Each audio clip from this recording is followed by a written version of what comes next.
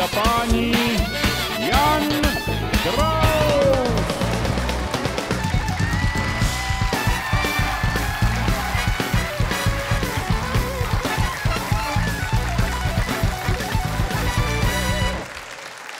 Dobrý večer, dámy a pánové, děkuji úctivě.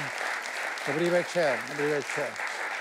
Chtěl jsem vám říct, já jsem si o sobě vždycky myslel, že jsem tak jaksi na nějakým vzdělanostním průměru, to znamená, moc toho nevím a zase úplně blbej taky nejsem. Eh, nic jsem nestudoval, protože v komunismu ty humanitní obory jsem považoval za nesmysl eh, studovat mezinárodní dělnický hnutí, anebo ty lži, které se z dějin, historie a často i filozofie někde recitovali, to mě nebavilo, takže si myslím, že jsem tak jaksi, že mám takový průměrný přehled na takového průměrného občana, který v takovém průměrném věku tak průměrně zhruba ví, co by tak průměrně měl dělat. A do toho jsem ale zjistil, že to bylo moje mínění do doby, než uh, se objevily sociální sítě a než jak si zhutněli a zbytněli, tak jak se to stalo do dnešní doby, protože jsem zjistil, že jsem výrazně nevzdělaný, výrazně blbej a výrazně hloupej.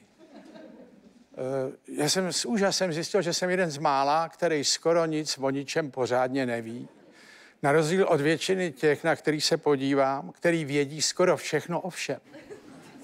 Jsou všechno epidemiologové, ale oni jsou i veterináři, oni znají přírodní jevy, fyziku, chemii. Oni umějí vysvětlit věci, které neumějí vysvětlit vědci. A ono je to Jaruna z kadeřnictví, ona to ví. Jarda, co dělá vrátnýho, on ví jako o gravitaci země, nebo že je placatá. Já blb se přesvědčil, že je kulatá. Blb. Jarda mi napíše, seš blb, je placatá, pět tisíc lidí to podporuje. Ale nabízí se ještě jedna možnost a vždycky zůstává, že kreténi jsou oni.